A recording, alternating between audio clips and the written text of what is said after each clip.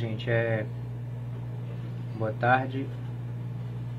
Meu nome é Wilson Silva.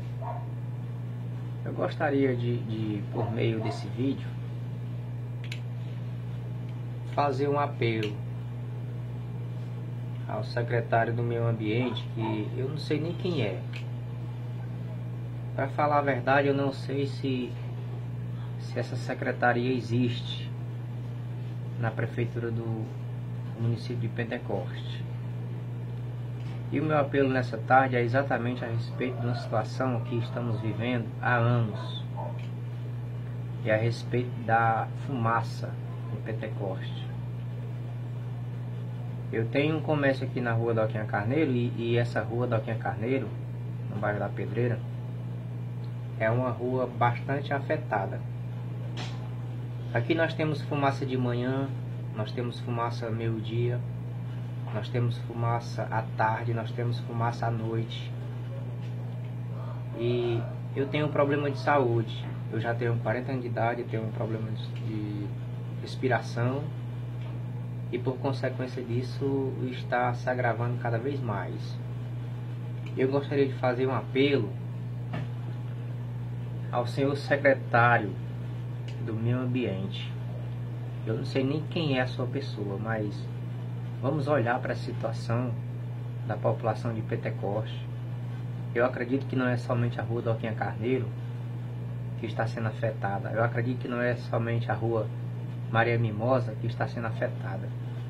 Aqui nós temos crianças recém-nascidas, nós temos, nós temos um, um caso aqui de, de, de, uma senhora que tem problema de saúde aqui do outro lado da rua, a mãe do meu amigo Hudson, a, a Joyce, ela está passando por um momento difícil de saúde, ela, ela respira por um aparelho. É, há pouco tempos atrás eu tive, eu tive apagando um incêndio aqui nas proximidades da rua. É, incêndios, queimadas que geram a respeito de focos que vêm dali do lixão. O vento traz e de repente começa a queimada nas proximidades das casas. Então assim, eu passo o dia inteiro respirando fumaça. Isso já está demais. Eu peço que, que o, o prefeito de Pentecoste, que comanda suas secretarias, que esse vídeo possa chegar até essa pessoa que está à frente dessa secretaria do meio ambiente, se é que existe, e que vocês possam se voltar para a população que está sofrendo. Nós estamos respirando oxigênio sujo, oxigênio que está nos prejudicando, a nossa saúde está sendo afetada por consequência disso. E a rua Doquinha Carneiro é a rua mais próxima dessa situação e a rua mais afetada. Então fica aqui o meu registro, a minha indignação, porque eu sou cidadão de Pentecoste e depois não me venham me fazer reclamações, depois não me venham querer me processar, depois não me venham querer é, bloquear a minha rede social, porque eu estou no meu direito, tá certo? Como cidadão de Pentecoste, eu estou no meu direito. Mas daqui a alguns meses também não me venham é, na minha residência, no meu comércio, pedir a minha atenção a respeito das propostas indecentes e imorais que vocês fazem durante as campanhas políticas. E depois vocês esquecem do povo. Depois vocês viram as costas para o povo. Depois o povo precisa dessas secretarias do meio ambiente, secretaria de obras, secretaria de transporte, secretaria, sei lá, são tantas essas secretarias e a gente é, é rejeitado, ou seja, muitas das vezes nem sequer nos ouvem.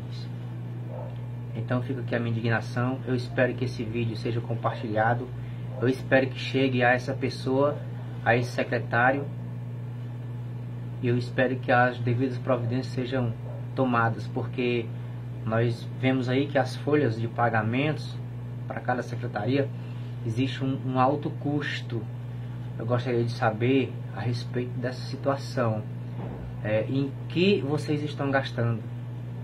Porque se forem para melhorar a situação da população de Pentecoste que vem sofrendo com essa fumaça, com essa fumaça, com essa infeliz fumaça que tira o sossego de qualquer ser humano, vocês não estão fazendo nada a respeito disso. Tá certo? Então, os amigos possam compartilhar esse vídeo. Nesse momento eu estou com a minha respiração até um pouco é, puxada por consequência disso. Certo? Eu vivo dopados por remédios, por medicamentos, para ver se eu consigo respirar. Porque é fumaça de manhã, é fumaça de tarde, é fumaça meio-dia, é fumaça à noite, se você vai para casa tem fumaça, se você está no comércio tem fumaça, se você está na rua tem fumaça. Então isso é um absurdo. Alguém tem que fazer alguma coisa. Tá certo? Então vocês possam compartilhar esse vídeo. Vamos cobrar das autoridades competentes que estão à frente dessas causas que nós não podemos ficar na situação que estamos.